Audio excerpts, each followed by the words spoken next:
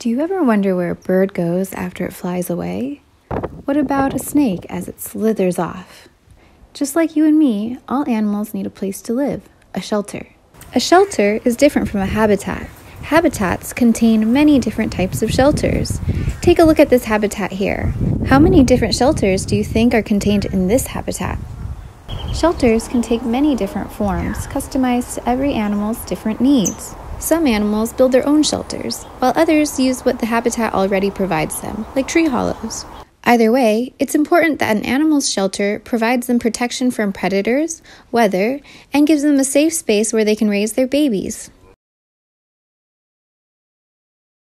At first glance, you may miss them or want to brush them aside, but wait! Web serve as shelter for friendly neighborhood spiders. There are many different types of webs that are spun by different types of spiders. Some are orb shaped, some come in sheets, and others form artsy tangles. Spiders will use some sections of their webs to catch prey, but also to create shelter with a combination of their webs and the habitat around them. Let's move our focus to the ground. Burrows can appear almost anywhere there is dirt. They offer a cool place to rest out of the sun, as well as intricate mazes to allow the residents to escape from enemies. Because of this, burrows serve as a popular shelter for many different types of animals, including gophers, lizards, voles, and weasels. The list goes on and on. Next time you're out walking, see how many little burrows you can spot.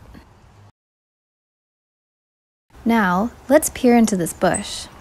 This may look like a pile of sticks, but if you look a little closer, you'll see that it is actually a carefully constructed mansion fit only for wood rats.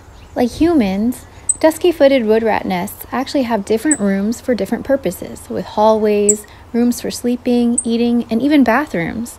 These nests can be as much as 7 feet tall with multiple stories and stand for over 60 years, with one generation passing down the nest to the next. Take a look up in this tree. Do you see any shelters? Good eye! It looks like there's a nest. But what kind of animal do you think is able to get up there? Like wood rats, birds gather little branches, lichen, leaves, and grasses to create a sturdy nest on a tree, on the ground, or any other place a bird feels safe. As we've seen, animal shelters are everywhere, and they're really exciting to find, but we need to be mindful about how to approach them. Imagine being a toad and seeing something huge running toward your home. That would be really scary. So we have to make sure we keep this in mind so we don't scare our animal neighbors. It's important to think of how we, as humans, can live in a way where we are respecting our animal neighbors and their homes. Here are some ways to do that. To find animal shelters, find a spot outside and be still and quiet. Use your senses and look for clues. You can use your ears to hear bird songs. You can also tune into rustling sounds nearby to track animal movement. You can use your eyes to look at the ground for animal trails, fur, feathers, or scat. You may also be able to spot some animal tracks. These might be from a bunny hopping into a bush. However, avoid touching any of the animal shelters you find, as human touch and smell can stress out wild animals. If you see a nest, avoid visiting it in the morning and at dusk when the mama bird might be more active.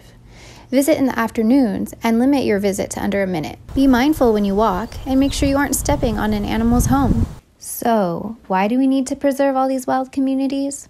Well, imagine if you were only able to eat one thing.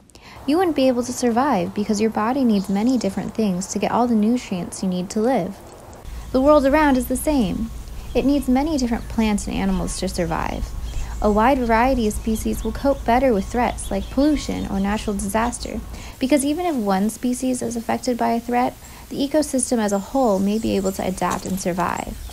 This is called biodiversity, and many scientists use it to measure how healthy an ecosystem is. A healthy ecosystem cleans our water, purifies our air, and maintains our soil, regulating the climate, recycling nutrients, and providing us with food. Sometimes, humans can help out animals by offering shelters and materials to build them. Check out this birdhouse that some students built. Listen carefully to the chirping baby birds. Can you hear them? You can also do this yourself or offer materials for the animals in your area. First, we can create an offering pile outside with found materials so your neighborhood birds can easily find them. Here are some do's and don'ts for this activity. You can offer undyed cotton or wool string or yarn in short lengths, dry leaves, or small amounts of shredded paper without glue, staples, or other residue.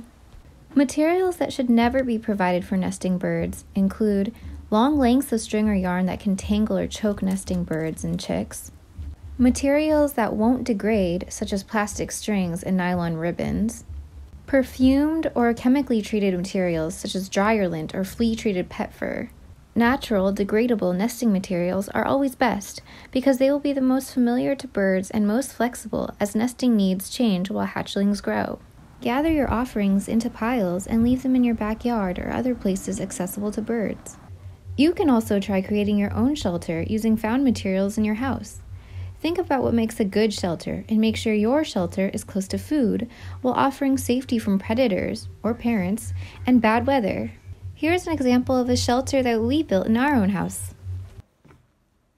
You might be surprised how much diversity can be found in your own backyard and neighboring outdoor spaces.